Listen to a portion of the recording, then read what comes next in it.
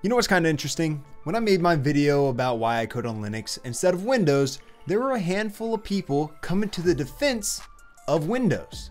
But that ultimately begs the question, were those people even real? Or were they bots created by Microsoft to push back on anything Linux? And not only that, but why did the office of Bill Gates reach out to me and send me this? Are they actually trying to teach me of how to avoid a climate disaster? Or is sending me this all a ruse to try to get me to quit trashing Microsoft in favor of Linux? Well, guess what, Bill Gates? Joke's on you because I don't even know how to read. Okay, let's read the Halloween documents.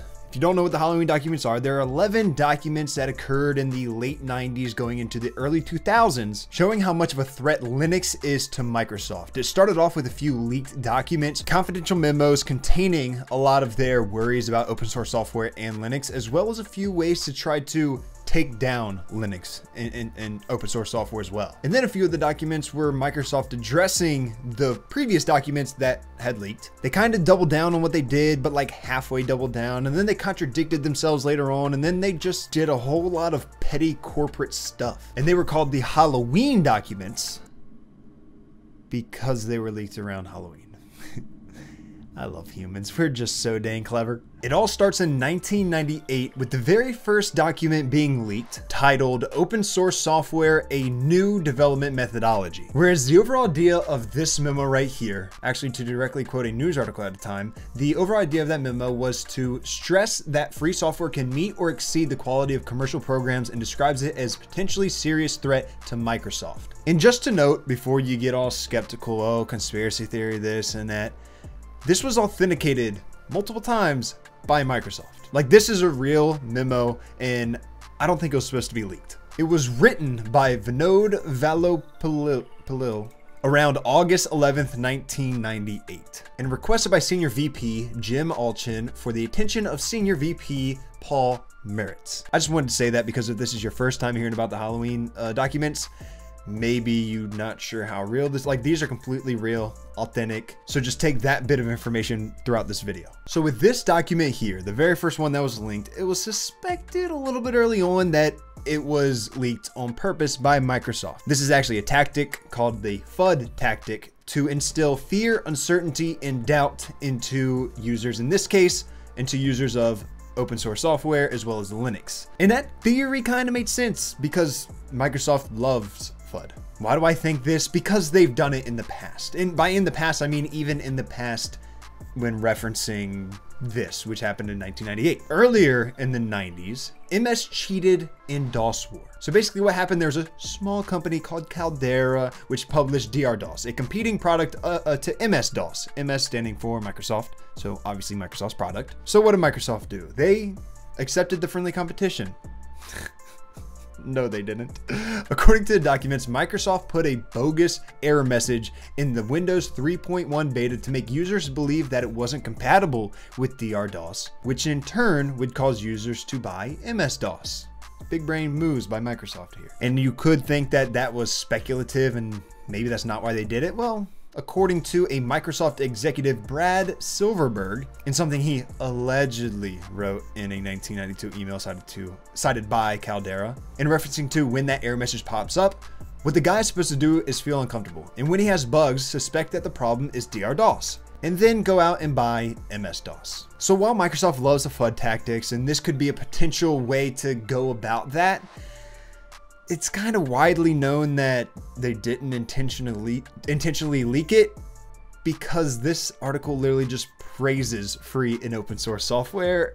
And I don't know about you, but if I'm trying to discourage someone or scare someone away from a product, I'm not going to say, yeah, this product's really great. Uh, it's actually kind of better than ours, and it's free. I'm just going to make an entire YouTube video about them shedding light on how manipulative and distrusting they are. And here are a few key quotes from the original, the very first Halloween document. And remember, this is Microsoft talking about this. This is Microsoft talking about open source software, talking about Linux. This is from Microsoft themselves. OSS, open source software, poses a direct short-term revenue and platform threat to Microsoft, particularly in server space. well, that became true. However, going back to the FUD tactics, OSS is long-term credible.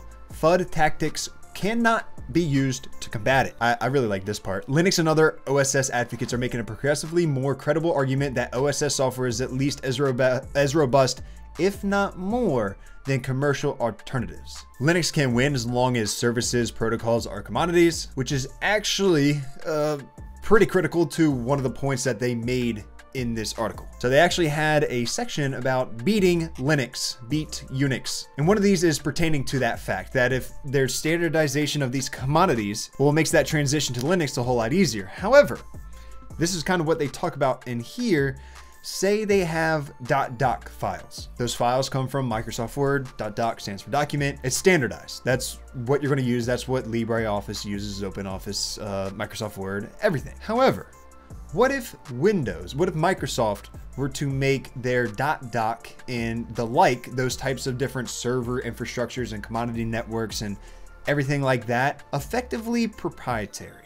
Or in a way, basically make it in a manner that is incredibly difficult to make compatible with Linux. Well, I don't know about you, but if you know, there's this big transition going on and people are saying, hey, go over to Linux. Well, if I get sent a Word document from my colleague and I can't even open it because I'm on Linux, that poses a problem and that's exactly what Microsoft wants. And I'm talking like this is happening right now. This I was like three years old when this first started, but this is a pretty cool story. And cool in the sense of like historical, not cool like like that wasn't cool that Microsoft did all of this, whatever.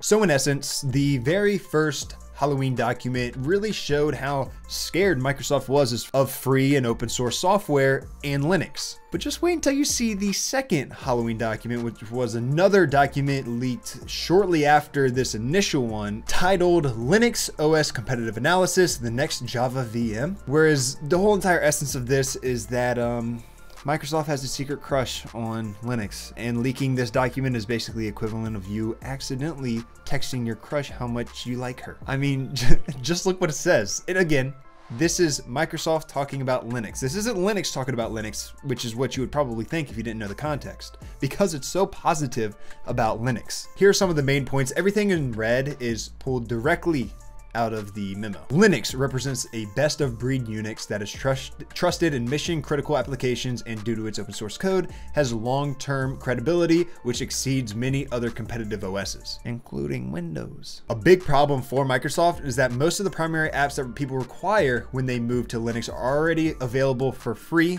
which allows a Windows user to transfer over to a Linux environment a whole lot easier, which is exactly what they say right here. and my favorite point of all, consumers love it. I don't know why that isn't the tagline for Linux. Someone, maybe one of y'all, you need to submit a pull request. Just edit the README file on the Linux GitHub repository, which is GitHub's owned by Microsoft. Microsoft still wins in the end. Anyway, submit a pull request where right at the top of the README file, it says, consumers love it, in quotes, said by Microsoft.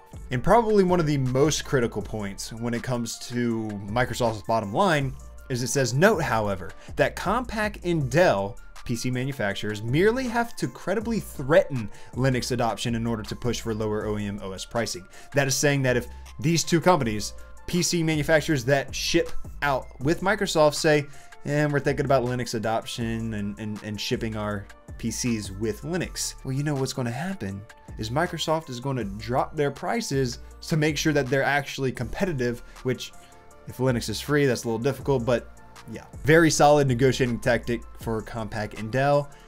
I'm interested to see if they actually did that. Comment down below if you know. Let's move on to the third Halloween document, which this is the very first uh, reaction. Well, Microsoft's reaction to the Halloween memorandum. We're basically in the same sentiment. Microsoft doubles down, but also doesn't take full ownership. They just kind of like half it, half half-ass it. Because this is basically what Microsoft said in their response to the two leaked documents. It is routine and appropriate for Microsoft, and we would assume all other vendors to research, write about, and assess all competitors, both from a business model point of view and from a technical point of view. Sure, that's a solid point, but what did Eric Raymond have to say? Everything that he says is in green, later on it's it's tan. And he agreed, he, yes, it is routine for that. However, eh, what's not quite so routine is to see the discussion imply a cold-blooded acceptance of methods including FUD tactics and dirty tricks such as decommoditizing open standards into monopolistic lock-in devices. So FUD tactics, they said it wasn't going to work against open source software, but it was floated around because obviously they have done it in the past and that's just kind of what it proves and then dirty tricks such as decommoditizing that's the whole document file type thing trying to make their stuff so non-compatible with anything other than Windows. So that's where they kind of doubled down, where like they didn't say, oh no, that wasn't us, that wasn't. They kind of admitted to it, but this is that half-ass part. It is not the official position by Microsoft on Linux. It is a technical analysis written by an engineer in staff capacity and designed to encourage discussion. And I could add my own little tidbits here, but let me just read what Eric says. Written by a staff engineer with contributions, endorsements, and reviews by two program managers, the senior VP in charge of NT development, and two members of the eight person executive committee. And that executive committee, mind you, I guess it's called Microsoft's Politburo. I'm not sure, but basically the executive committee answers only to Bill Gates. Or translation, all the executives every higher up, even the owner, Bill Gates, they knew about this memo. They agreed with this memo. So don't try to say it's not it's not the official position of Microsoft. No, it's just not the way your PR team wrote it because this was leaked instead of y'all putting anything out there yourselves. Let's talk about the fourth Halloween document when software things were rotten. The whole entire thing is just a satire piece by Eric Raymond touching on the fact that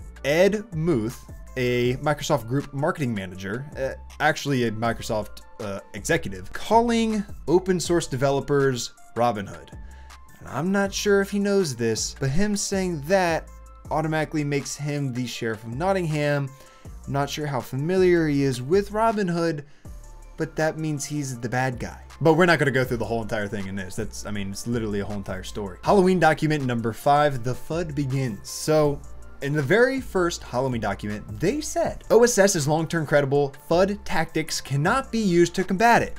However, when it comes to the fifth, just about how five months later, the good old Sheriff of Nottingham, Ed Muth, decided he wanted to throw out a FUD piece on Linux, calling it a weak value proposition, saying it has no long-term development roadmap. This is coming from a company that can't seem to decide how many versions of Windows 9X will intrude between now and the much delayed promised land of Windows 2000. Come on. And then we also get some whining about the lack of fairness in media coverage. Well, of course. Who are you going to like more? Robin Hood or the Sheriff of Nottingham? Of course, Robinhood's to get better media coverage. And then there's more that said, but this was the typical FUD tactic that they said wasn't to work. So I'm curious to see if it does. Let's fast forward to the sixth Halloween document, the fatal anniversary, where they decided they're not going to do an exact uh, di direct FUD piece on Linux or are they? So between the fifth and the sixth Halloween document, a few things have happened. The original author of the Halloween documents quit Microsoft to go work at a Linux-based startup. I thought that was funny. In the first Linux IPO, rocketed Red Hat software to a $6 billion market cap. And then the few things that have stayed the same, Windows is still buggy and insecure and crash prone. Windows 2000 still isn't shipping and Microsoft is still whining and making excuses. And then our Sheriff of Nottingham, he was quiet, but then comes out a piece. Then comes out a piece, which is really why there's this six Halloween document, which is addressing the piece that came out. This isn't a leaked document or anything like that, but a piece came out by the Gartner Group. It was an objective study by independent Gartner that slammed Linux. They actually had a series of five reports slamming Linux and predicting that its appeal would fade once the inevitable Service Pack 1 for Windows 2000 came out. And these reports quickly spawned Linux is doomed articles like this one, which is the dead link, unfortunately. But these objective studies by independent Gartner included the following small print at the end. Microsoft Web Letter is published by Microsoft. Additional editorial material supplied by Gartner Group Inc. 1999. Come on. You can't make this stuff up. Let's move on to the seventh Halloween document. And this is basically, in essence, Microsoft saying that, um, hey, FUD ain't working. Well, guess what, Microsoft? That's what you initially said all the way back in the first Halloween document that FUD tactics cannot be used. But then just five months later, you said, um, you know, we're gonna try it anyway. And then uh, let's try it under an alias. And now you're saying that it didn't work. Not only did it not work, but it backfired. Microsoft's FUD attacks on open source software have not only failed, they have backfired strongly enough to show up in Microsoft's own market research as a problem. Sweet, sweet justice when a big company tries to bully this nice, free, open source software and it just doesn't work out as planned. However, Microsoft is still now we're back to Microsoft accidentally leaking documents again. So this is four years after the original Halloween documents were released. Halloween document number eight, doing the damage control dance. So what is this saying? it's basically Microsoft saying, okay, every time that someone whether it be a big company or, or, a government or whatever for servers, for operating system, doesn't matter. If they ever say that they're going to be using Linux, we need to have a plan in place. We need to know what to do. Every time I think of this, I just think of the scene in the office where Dwight lights something on fire just to make sure that people know the proper protocol and then everything just hits the fan. Everyone goes crazy, they're freaking out. And I feel like every time there's some sort of Linux announcement in this regard, that Microsoft employees just go crazy.